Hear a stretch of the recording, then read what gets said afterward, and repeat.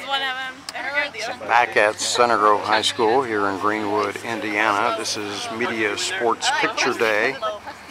We've moved over to take care of the 2015 Center Grove Trojans, number 11 ranked Center Grove Trojans golf team.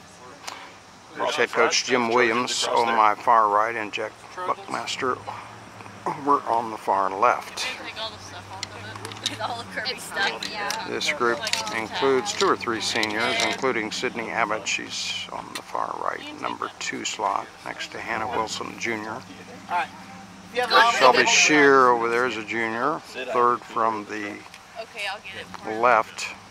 Write your guys' name on the sheet, pass I'm it gonna do a down. test shot while you're doing that, guy. Groups preparing to play in the 2015 Indiana State Preview oh, Golf Tournament at Prairie View Golf Club, which is the site of the state finals.